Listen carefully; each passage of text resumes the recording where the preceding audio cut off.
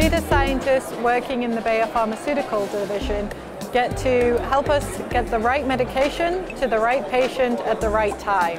That starts off in drug discovery, covers our clinical research, our epidemiology, all the way through to commercial operations and product supply.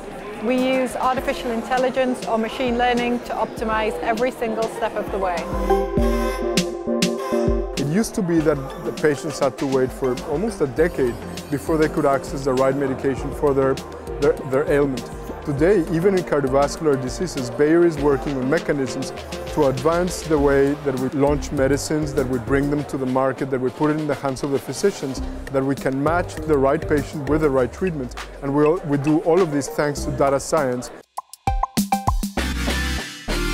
We have chosen to embrace data and science as one key enabler in advancing the way that we bring innovative medicine to a world that is becoming older, where some chronic illnesses are becoming more prevalent.